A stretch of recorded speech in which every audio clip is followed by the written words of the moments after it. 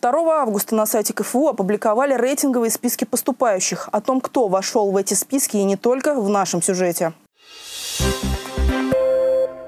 2 августа на сайте КФУ появились первые списки по приему на бакалавриат специалитет в рамках бюджетного конкурса. Ответственный секретарь приемной комиссии Александр Бибик рассказал, сколько заявлений подано от стабальников, абитуриентов, которые прошли без вступительных испытаний. На сегодняшний день у нас уже э, порядка 264 э, абитуриентов, которые имеют наивысший балл ЕГЭ, либо несколько баллов ЕГЭ с наивысшим значением, и около 161 человека подали заявление заявление в рамках прохождения конкурса без вступительных испытаний.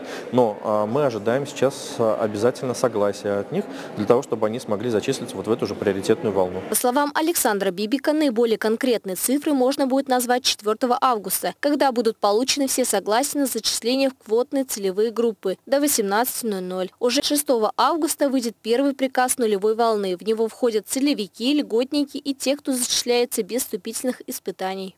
Затем мы принимаем согласие на общий конкурс до 11 августа и приказ э, вот именно в общий конкурс это 17 августа. Сегодня вышел первый приказ о зачислении на контрактную форму обучения для иностранных граждан. Были зачислены 168 человек, 48 абитуриентов в рамках договоренности между странами по линии Министерства образования и науки РФ. Отметим, что это не окончательный срок приема документов. Иностранцы могут подавать документы до 16 августа. А, это дополнительный срок. И для них еще пройдет серия внутренних вступительных испытаний. До 15 августа мы принимаем документы. После 15 августа серия вступительных испытаний. Затем а, мы даем время на подачу согласия и оплату договора. И к 1 сентября а, они должны приступить к обучению.